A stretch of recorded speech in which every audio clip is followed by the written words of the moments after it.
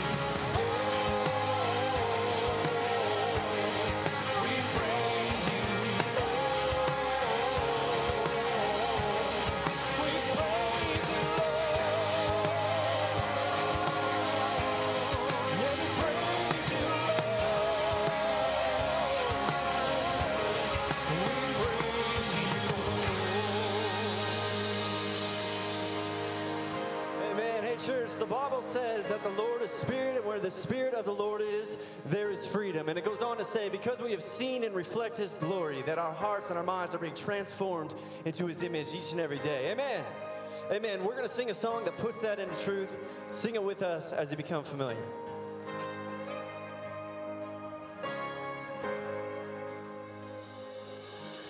Walking through the valley, your presence is around me. As nothing stands between me and my God.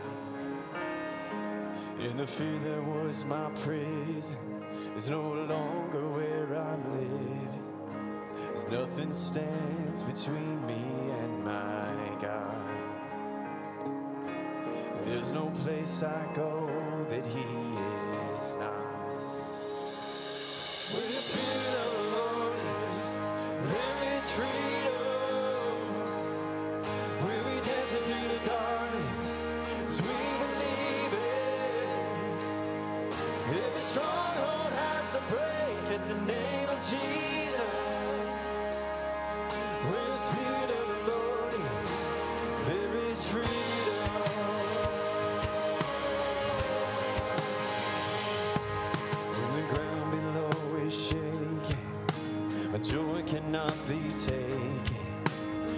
nothing stands between me and my God.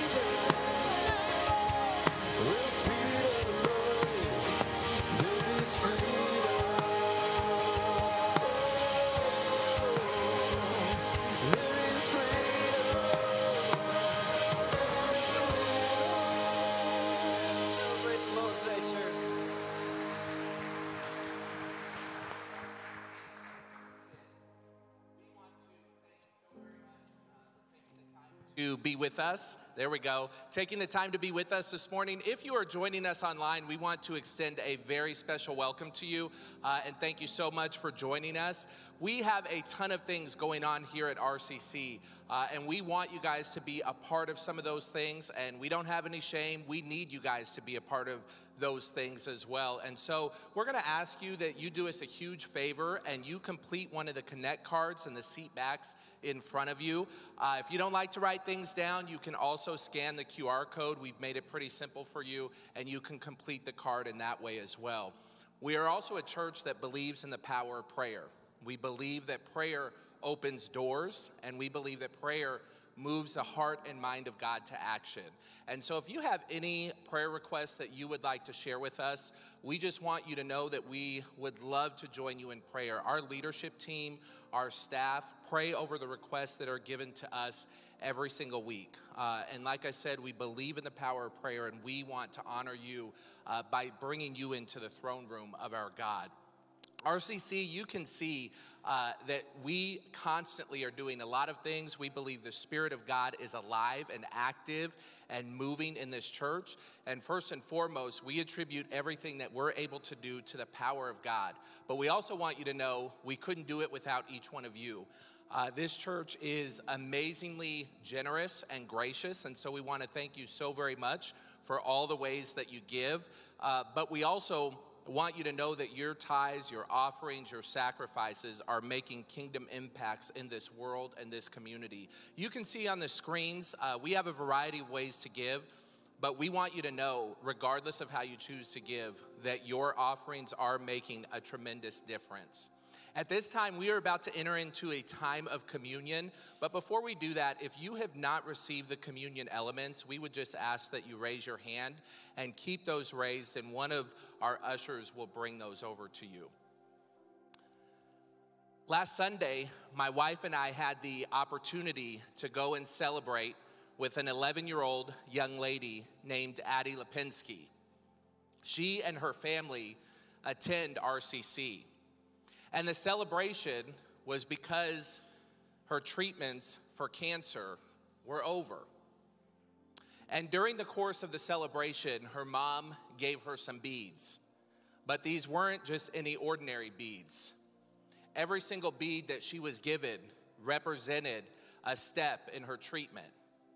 Whether it be chemo, whether it be an injection, whether it be a spinal tap, whether it be a blood, a blood draw, Every one of those beads had a tremendous amount of significance.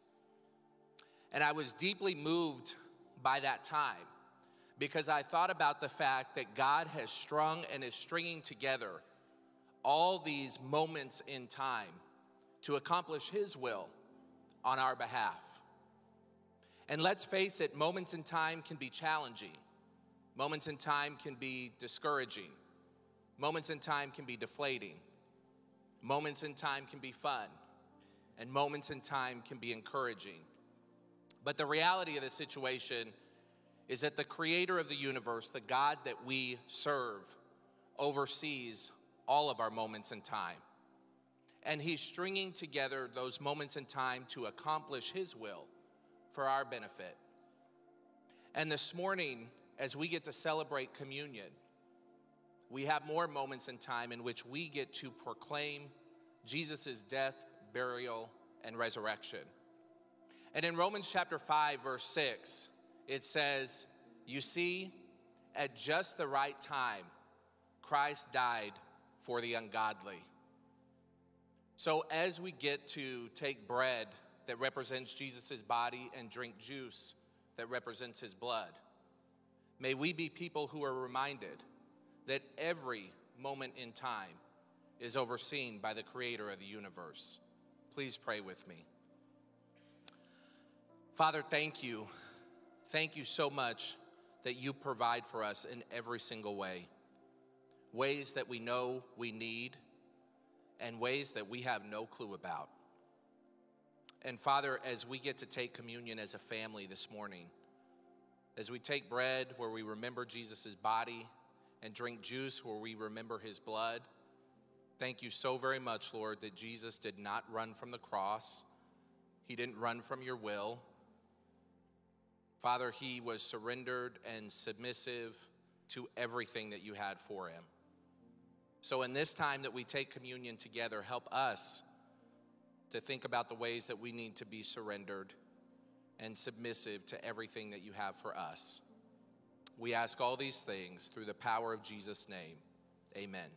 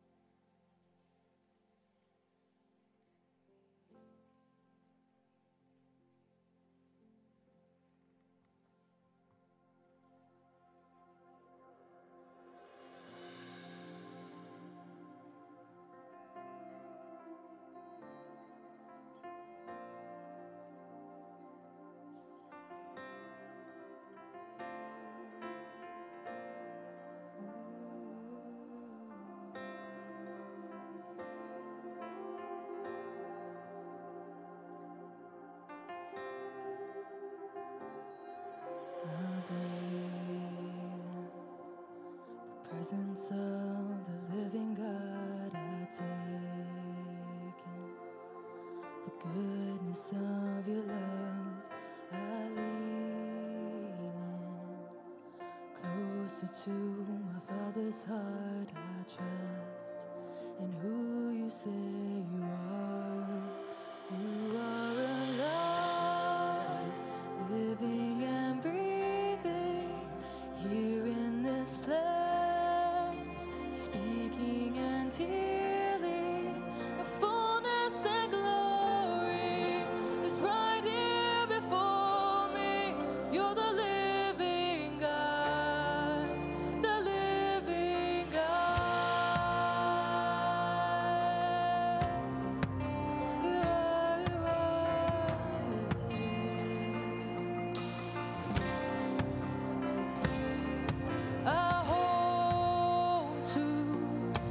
joy.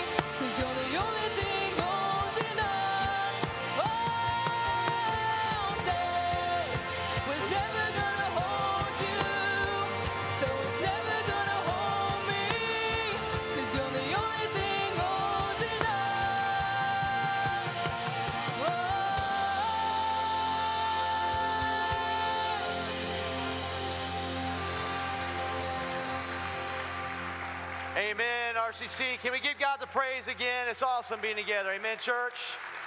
Awesome being together. Have a seat, please. My name is Nathan, one of the pastors here. We want to welcome you to RCC this morning. We're so excited. One of the reasons we're excited because we have Melissa here. Everybody say hi, Melissa. Hi. And Melissa's with Better Together, and I want her to kind of tell you a little bit about this amazing organization. So, what's going on with Better Together? Yes, thank you. Um, Better Together, we are on a mission to radically reduce the number of kids that enter foster care every single year here in the state of Florida. And so we are a 100% privately funded nonprofit, and we wrap around families in crisis that are right here in your community by giving them preventative resources and connecting them to a community of people at local churches.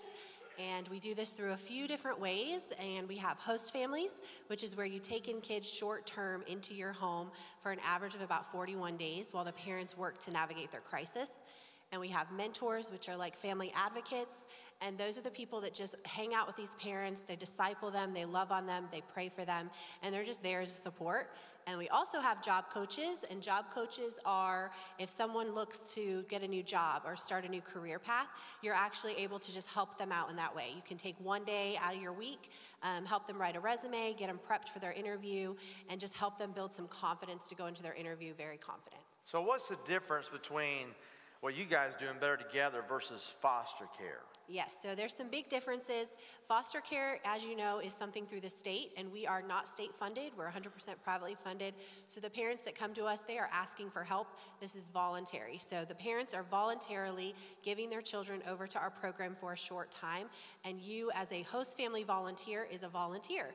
So as you know, with foster care, you have to be a licensed foster parent through the state, and the parents are not given the option.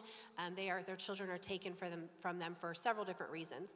But with us, this is prevention. So these are kids that have not been severely neglected or abused. You're getting them before those parents have reached so far down the river that they're already down here. We're getting them before that so that we can actually prevent them from abusing and neglecting their children in that they need foster care. All right, so speaking of River, how can River Christian Church be a blessing to Better Together?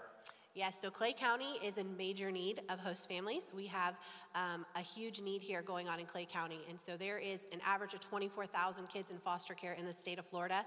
60% are there for just neglect alone. And we want to change that. So we need you guys to volunteer as a host family, family advocate, job coach, pray for us, and just support us in any way that God lays on your heart. So that's amazing. So I want you to know we have an awesome opportunity. Today, Melissa's going to be out there. If you want to talk to her, she'll be out there in the atrium. On top of that is a huge meeting that's happening tomorrow night, which is June 6th at 6 p.m. right here in room 204. And we would love to have you there. If you're interested to know more about Better Together, she's just giving you the tip of the iceberg. It is amazing ministry, having huge positive results, a place like Southwest Florida right now, and we're hoping to have the same thing, and we can have the same thing through the church right here in Northeast Florida. So you guys give it up right now for Thank Melissa. guys. Thank you so much, Melissa. So we are excited because we are launching a new series today called JoyFull. JoyFull. And so it's to study in Philippians. And here's what I'm going to do. We're going to go old school, and I'm going to ask you this. Will you, from here on out, for the next, next several weeks, we're going to do this all the way to the second week of July, will you bring your, remember these things called the Bible? Will you bring your Bible? We would love for your kids to catch you carrying your Bible, your grandkids catch you carrying your Bible into church. And so I'm going to give you a break today because obviously you didn't know about your homework assignment till today, all right? So you guys, even online, can join us. Make sure you bring your Bible. So we're going to dive right into Philippians. And I want to tell you a little bit about this letter as we start. First, it's powerful. It was started by, this church was started by Paul right around 52, 52 AD. And 12 years after that, Paul decides to write them a letter. And so he has such a strong connection with them.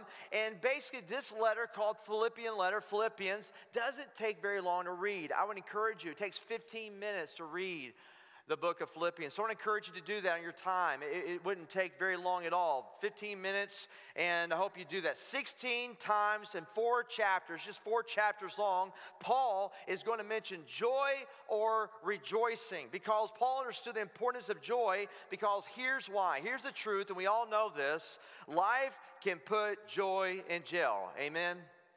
Life can put joy in jail. We all know that life is hard. And every single one of you right here in the room and you online, you are dealing with something right now that can evaporate your joy. you realize right now that life has the capability of incarcerating your joy. It seems to me that we live in a society where more people are enduring life rather than enjoying life. Have you noticed that? To illustrate this, New York Times ran an article not that long ago about Yale University.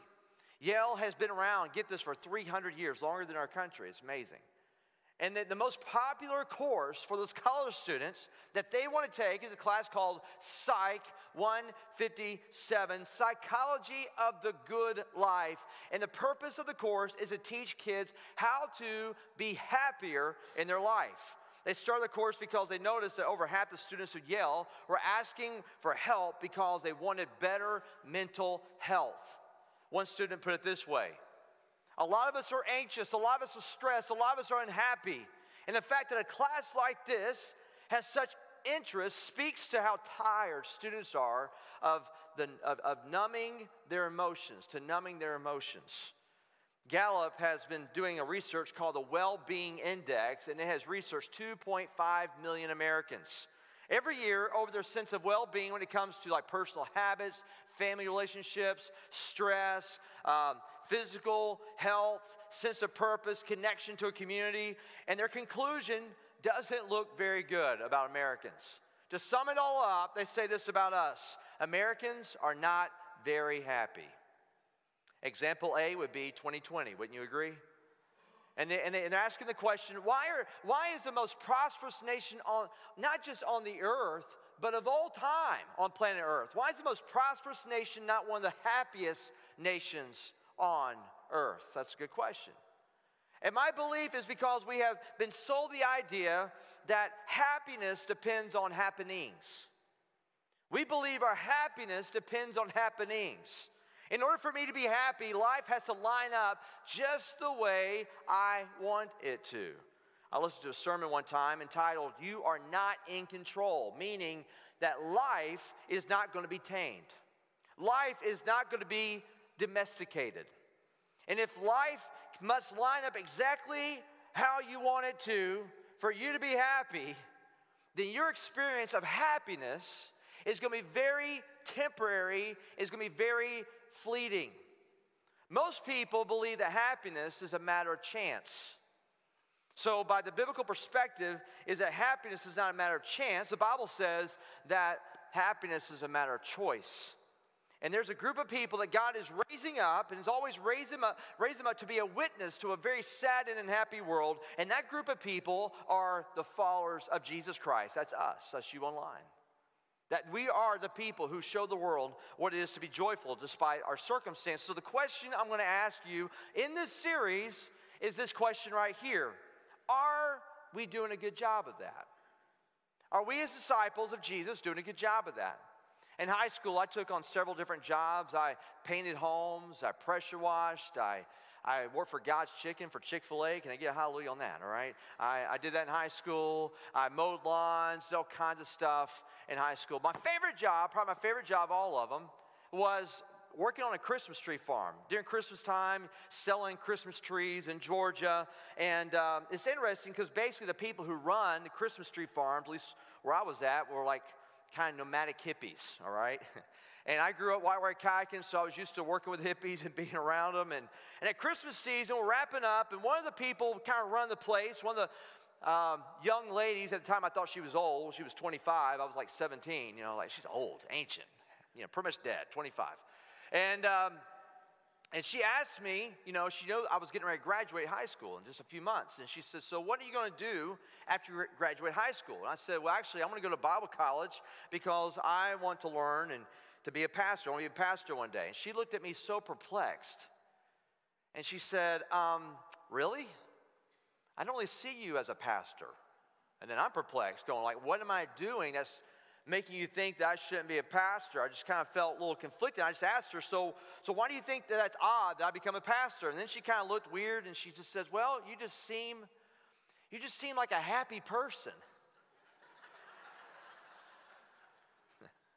Because her background being around a lack of community of faith with faith people she saw no connection between people of faith and joy that was foreign to her and let me ask you If you invited your friend to happy hour, do they think that you invited them to come to church? Probably not. It's a fact that for many Christians are not viewed as winsome, which means like a appealing. Um, it doesn't mean handsome; it means like appealing. It means uh, uh, many Christians not viewed like joyful. We're not viewed uh, peaceful people. We are often viewed as downers and glum and always upset about something. and I believe that is a contradiction to our very calling. The Bible says, For the kingdom of God is not a matter of what we eat or what we drink, but of living a life of goodness and peace. And what, church? Read it with me. And what? Joy in the Holy Spirit. That the Holy Spirit is like a river that runs underneath all of our circumstances that we're in. And it did that for Paul. Did I mention that when Paul, when he wrote Philippians, he wrote that letter, he wrote it from jail. And I'm not talking about the nice jails that we have that have air conditioning, you get fed. I'm talking about jails that were dungeons. He wrote this from the bottom of a pit. And when you get to a new town, my wife and I went to many new towns this past week. Went to Lake Placid, Lake Wales, and um, Sanibel Island, Nokomis Beach, all kinds of beaches in Southwest Florida. Uh, we just celebrated our 22nd anniversary and about 20, 22 years together. I think she signed up for around 23, all right? So that's looking promising right now. So, so when we go to a new town, we look at different sites, we look at restaurants. When Paul showed up to a new town, he would look at the prisons because he was going to wind up there sooner or later. You read his autobiography, and it's full of shipwrecks and beatings and unfair, unfair trials and, and imprisonments. And it didn't matter what life threw at Paul, he kept experiencing joy. And we're going to learn the secret as we look at this series called JoyFull. And we're going to get a hint of it as we just start the very first two verses of the letter. Look what it says right here Paul and Timothy, servants of who? Read it with me Christ Jesus all God's holy people in who? Christ Jesus at Philippi, together with the overseers and deacons, grace and peace to you from God our Father and the Lord who? Jesus Christ. You see a hint here? In just two verses, Jesus is mentioned three times. The whole letter is 104 verses. That's it, 104 verses. And Jesus is mentioned 51 times. He Paul is obsessed with Jesus. In fact, it reminds me of a four year old who goes to Bible school for the very first time. A little Bible Sunday school. His parents come to check out a church like some of you are doing today. And, and then the four year old goes in the, in, in the children's area, the kids' area, then comes out and they pick up their kid and they're on the road and they're heading home. And they, they ask the four year old, they say, What was the name of your Sunday school teacher? And the four year old just says, You know, I have no idea but she must be Jesus' grandmother. And the parents are like, why would you say that? Like, why, why would you say that? And the kid says, because that is all she talked about. Paul had gone down the road of Damascus to persecute Christians. He had gone down before he became a Christian to kill, to jail Christians. He wanted to eradicate them off the face of the planet. And then he met, the crazy thing happened. He met the risen Christ on the road, and it rocked his world. And from that point on, he is obsessed with Jesus. And he's going to interpret everything that he goes through in life through the lens of Jesus Christ. Everything is looked through that lens. Therefore, this is the foundation that we're going to work from in this series. Are you ready? Here it is. That joy is your present possession when Christ is your constant obsession. That, that joy is your present possession when Christ is your constant obsession. Say that with me on count of three. One, two, three. Joy is your present possession when Christ is your constant obsession. When you see everything through the lens of Jesus Christ, you will live in joy. We're going to walk through this book, Philippians, real quick. All right, we're going to do an overview of today. Then we're going to start breaking it down starting next week, starting in chapter one. I hope you read chapter one. In chapter one, we're going to read this and we're going to see this. Paul is going to tell us that Jesus is my purpose. Paul never believed that God obligated him to live the easy life. He never thought that. In fact, if you, if you remember, if you've read, when Paul was converted, Jesus tells him immediately at the very beginning of his walk with Jesus, Jesus tells him, he says, Hey, Paul, go into a town because a man is going, is going there, is there, and he's going to tell you, listen, he's going to tell you how much you must suffer for my name. Right out of the gate, he's told he's going to suffer for Jesus. Paul never believed that following Jesus meant he would have a comfortable life, but it did, it did mean this it meant he would have a meaningful life. Following Jesus meant he'd have a meaningful life. He found his meaning in Jesus. And here's a reason you could not keep Paul down because you cannot keep him down because you could, you could not put Paul anywhere where he couldn't lift Jesus up. You couldn't put Paul anywhere where you couldn't lift Jesus up. So he, you couldn't put him down. Look what he says right here, starting in Philippians chapter 1, verse 12. Now, I want you to know, brothers and sisters, that what has happened to me, I've been thrown in prison, has actually served, look at this, to, to advance the gospel. As a result, it has become clear throughout the whole palace guard and to everyone else that I am in chains for Christ because Paul says, Do you know that people are talking about Jesus all over the city because I am in jail? In fact, he's going to end this letter by saying, I send greetings from those in Caesar's household. Jesus got all the way to the palace of the emperor because Paul was in jail for Christ in Rome. Amazing. What, what if you found your joy and not what was easiest for you, but what's best for the gospel? What if you found your joy in not taking the easy life, but what's best for the gospel? Now, there are a lot of people who just heard what I said because your life right now is, is hard for you. You're battling cancer. Some of you right now are, are dealing with depression or stress, financial issues, physical disabilities, learning disabilities. Some of you right now are, have the joy and privilege, but also the challenge of raising a special needs child, a loss of a loved one, a loss of a job, and yet you have learned, listen, you have learned that your pain actually can be a platform for the gospel. I love what Rick Warren said. He said, God never wastes a hurt. God never wastes a hurt. In fact, I found this in my life that bad news can open up doors to share the good news. In fact, that's usually how it works. What if you found your joy not in what's easiest for you, but what's best for the gospel? See, Paul's attitude is Jesus is my purpose. I get up, Paul says, and I walk and I breathe and I live to exalt Jesus. You can't put me anywhere. Well, I cannot exalt Jesus Christ. Chapter 2, we see this that Jesus is my pattern. Jesus is my pattern. See, Paul never went to pity parties. By the way, they're not any fun anyway. All right? And so, what kept him out of pity parties was he would intentionally focus on others instead of focusing on himself. And you know why he did that and how he learned to do that? Because he followed the pattern of Jesus. You're like, what's that pattern look like? Well, look, look what Paul describes it in Philippians chapter 2. He says this In your relationships, we all have relationships, with one another, have the same mindset as Christ Jesus. That's hard who being in very nature God did not consider equality with God something to be used to his own advantage. Rather, though Jesus, he did what? He made himself nothing. By taking the very nature of a what, church? Of a servant. That word right there is doulos, that word means slave.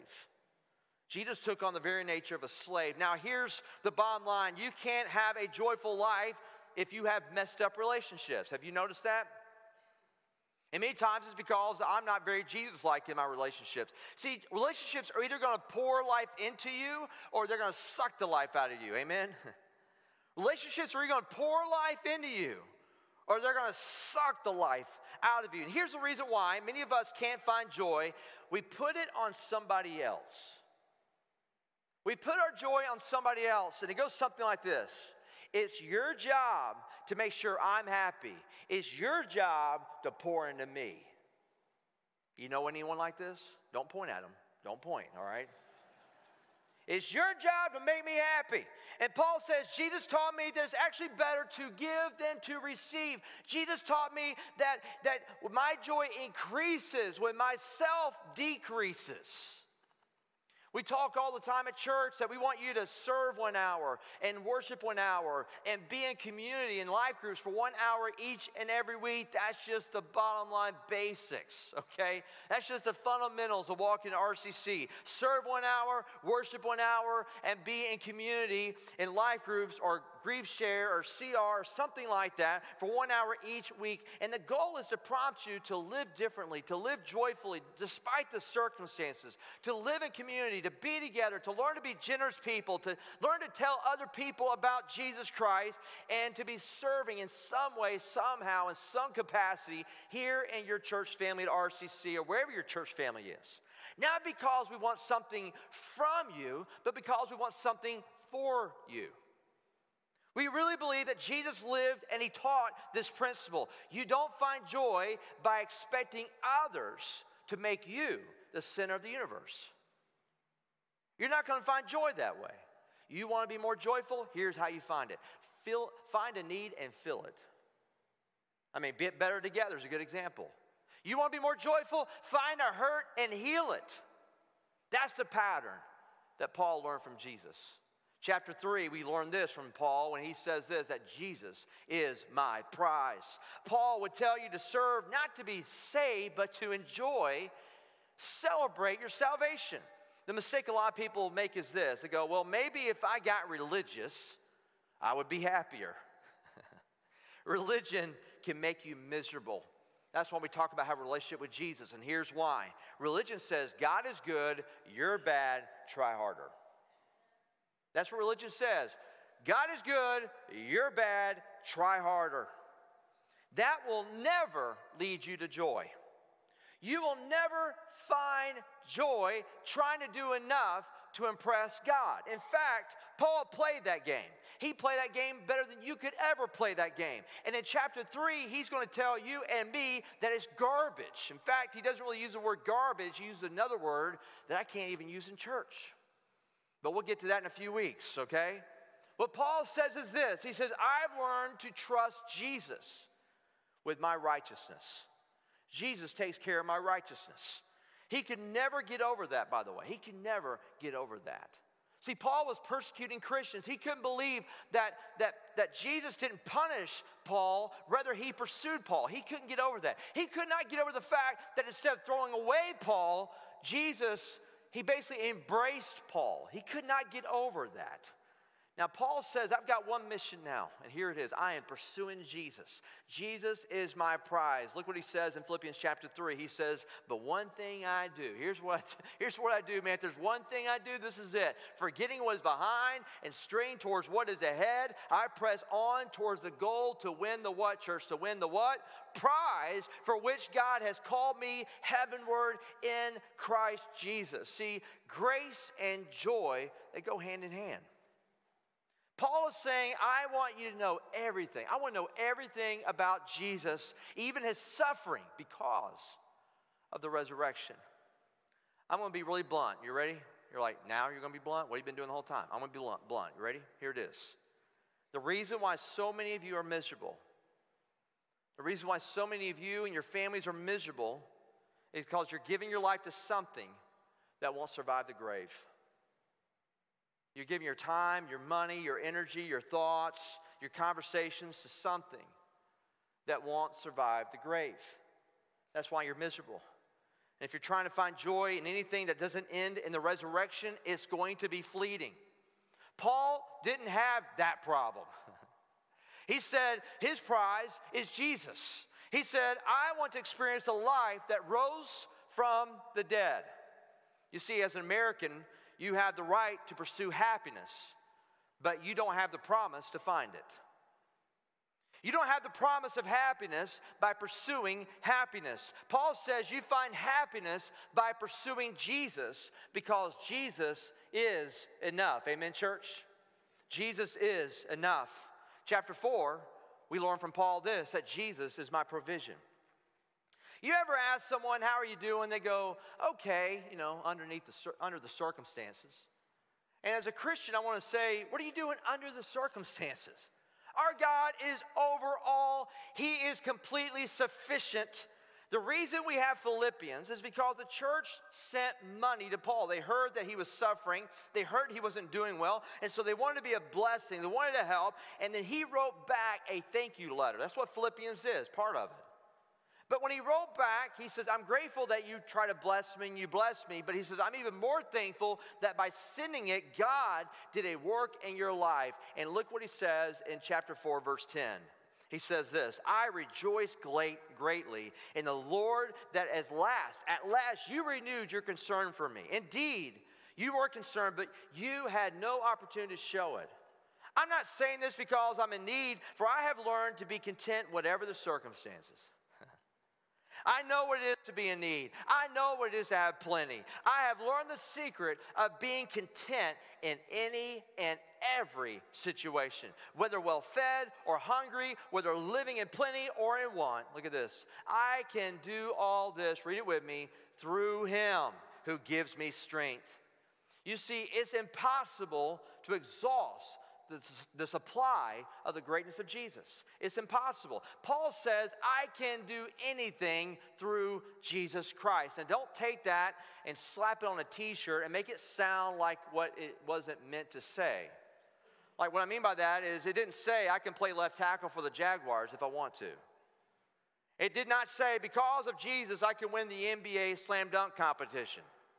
What it did say is because of Jesus Christ, I can become everything that God has called me to be. You're not going to be able to stand before God and say, Yeah, you know, I was a whiny, complaining, constantly frustrated person because it's your fault, God. Because you didn't give me fill in the blank, whatever you want to fill in the blank. And Paul says, Everything that you need to become the winsome, peaceful, joyful person that God is calling you to become, you will always have in Jesus Christ. You will always have in Jesus. So you should refuse to live in the prison of pity. In the prison of resentment. You should refuse to live in the prison of joylessness. Joyful people are grateful people. They don't sit around and complain about what they don't have, but they gather together and they praise God for what they can never, ever lose. Even in prison, because it's true. I mean, it's true, man. Life can put you in jail, but here's a bigger truth faith can find joy in jail. Amen? Faith can find joy in whatever jail you're going through right now. You see, people who read the Philippian letter for the very first time, the people, the, the church in Philippi who received this letter, they remember the day they first met Paul. When they got that letter, they remembered it, and it all started back in Acts 16. Paul wanted to go to a place called uh, Bithynia, but the Spirit of God said no. Then he wanted to go into Asia, and the Spirit of God said no again. And then he goes to sleep, and a man in his dream calls him, says, Come over to Europe.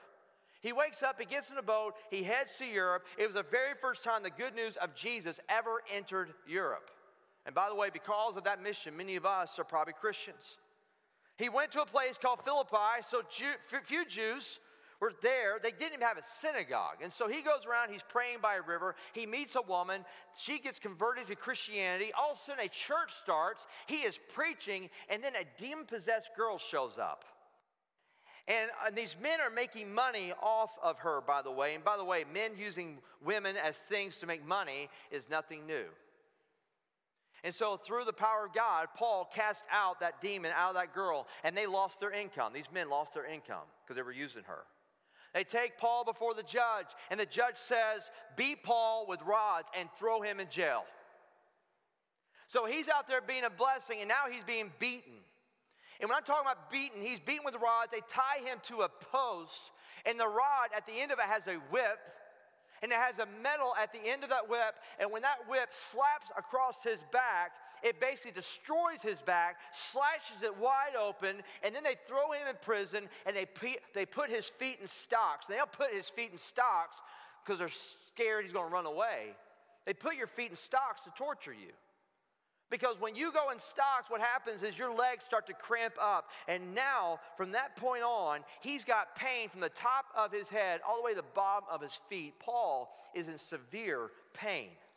Here's a question for you What would you do if you were in Paul's situation? What would your attitude be like? Maybe something like this Seriously, God? I did what you said. I went where you wanted me to go. I didn't want to go there. I didn't want to be here. And this is what I get? I mean, if that was Paul's response, could you blame him? So, what did Paul do? It's amazing. Look what it says in Acts chapter 16. About midnight, Paul and Silas were praying. And they were doing what, church? Read it with me. They were singing hymns to God, and the other prisoners were listening to them. Of course they were. People notice joy. Happiness, not so much.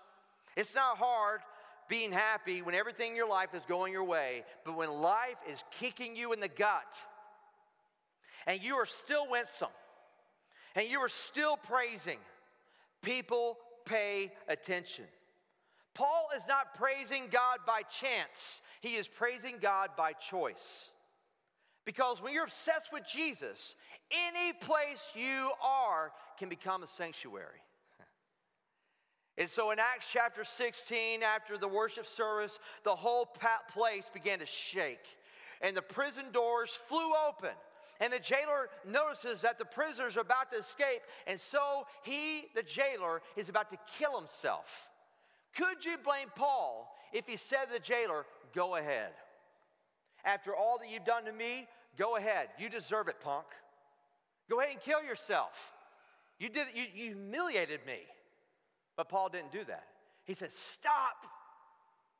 And, and right when he did that, the jailer was so overcome by that compassion that he fell at Paul's feet and asked the most important question anybody could ask in their lifetime. He asked this question What must I do to be saved?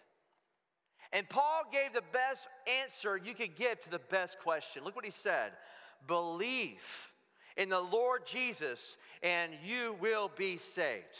You and your whole household. And they spoke the word of the Lord to him and to all the others in the house. And that hour, that very hour of the night, the jailer took them and washed their wounds, the wounds that he created, by the way, the wounds that he put on Paul. And then immediately, he and his whole household were what? They were baptized. The jailer brought them into his house and set a meal before them. And he, the jailer, was what? He was filled with joy. Why? Because he had come to believe in God, he and his whole household. Man, that's what God wants for you. God is not upset with you for wanting to be happy. God is upset for you for trying to find happiness in all the wrong places and in all the wrong faces. You're not going, you're, you're only going to find joy in anything if Jesus is your everything. You're only going to find joy in anything if Jesus is your everything. And all of life is lived through the lens of Jesus Christ. That's what we're going to find here in this letter called Philippians. When the Berlin Wall fell, we found out a lot about what communism was doing to Christianity, specifically in Romania. Romania had a dictator who was brutal against Christians. And one of those people he was brutal against was a pastor. His name was Pastor, pastor Richard Wurmbrand. And this man would preach about Jesus and be thrown back into prison. In fact, much of his adult life, he was in prison because of Jesus. Pastor Richard wrote this in a book that he called Tortured for Christ. In the book Tortured for Christ, he wrote this It was strictly forbidden to preach to other prisoners about Jesus. It was understood that whoever was caught doing this would receive a severe beating. A number of society, look at this, a number of society to pay the price for the privilege of preaching. So we expected their terms. It was a deal. We preached and they beat us. We were, we were happy preaching and they were happy beating us. So everybody was happy. Part of me laughs, and the other part of me is convicted. Have I found that kind of joy? Am I that obsessed with Jesus? I want to be. I want to live what Paul said when he wrote from prison Rejoice in the Lord. How often, church? Rejoice in the Lord. How often? Always. I will say it again. Read it with me. Rejoice. The only way you can rejoice always is if it's in the Lord. That's the only way, the only thing that's not going to change. Everything else changes. Everything else is a chance. But rejoicing in the Lord is a choice. It's a choice. And I want that for you. Because, one, it's good for you, but also I want that because the world. The world desperately needs a witness of people who are peaceful, who are content, and listen, who are joyful. And you can be that. You can be that. Here's how put your joy out of the reach of this world. Put your joy out of the reach of this world and rediscover your joy in Jesus Christ. That's how you do it. Will you stand with me?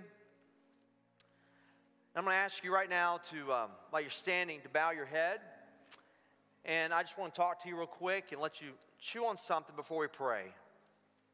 I didn't say anything today that you probably disagree with. I'm not going to get a single email this week saying, I don't think we should find joy in Jesus.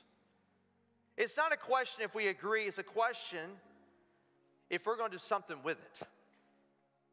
Every one of you has something going on in your life right now where it is hard to find joy. And the Bible says that God gives grace to the humble. And so I want you to humble yourself and specifically right now ask God about that one place in your life that you should rediscover the joy of the Lord. Where is that place right now? Maybe it's in your marriage. Maybe it's with your health. Maybe it's with your child. Maybe it's with your job. Maybe your relationship. Maybe your depression. Where is that right now, that area that you need to ask God, Lord, bring joy in this part of my soul? I'm going to ask you to do that right now as we pray. So, Father, we ask for a fresh outpouring of your Spirit to rediscover and become more obsessed with Jesus Christ, to become more committed to exalting Jesus Christ in any and every circumstance. And in that, filled with the joy of Jesus. Why? Because He's worth it. He's worth it, and the world needs it. And Lord, right now I'm asking us to open up our heart for the area of our lives that we need you to come in and have your way. Empty out all the hopelessness and fill it with hope. Empty out all the, the, the chaos and fill it with peace. Empty out all the joylessness and fill it with joy. Lord, thank you so much for bringing light into the darkness of our souls. And we pray this all in the wonderful and majestic and beautiful name of Jesus. And the church said, Amen. Some of you right now, the Lord is prompting you that you need prayer in a specific area. I want you to know our prayer team is up here. We would love to pray with you. Maybe remember that jailer? Remember that moment when he said, I want to give my life to Jesus Christ? Maybe that's your next step. Whatever the Spirit is prompting you to do, I'm asking you to do that. You guys online can hit the request prayer button. We would love to pray for you. But once you come right now, you need to do this. The Spirit's prompting you. We're going to sing a song called Hymn of Heaven. And right now, our focus is on the eternal. No matter what's going on in the temporal, we keep focusing on the eternal, and that's where we find our joy. So let's focus on God and ask Him to prompt us and lead us this time. If you need prayer, come up here right now. Follow and be obedient to that prompting.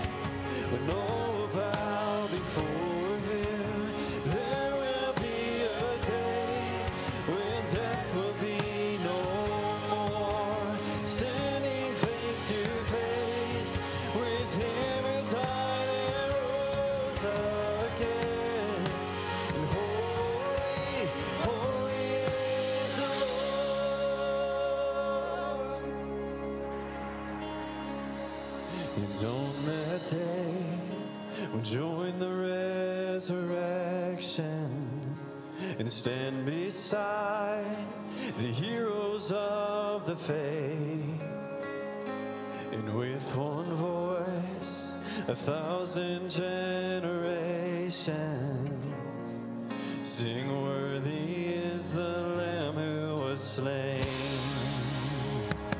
And on that day, we join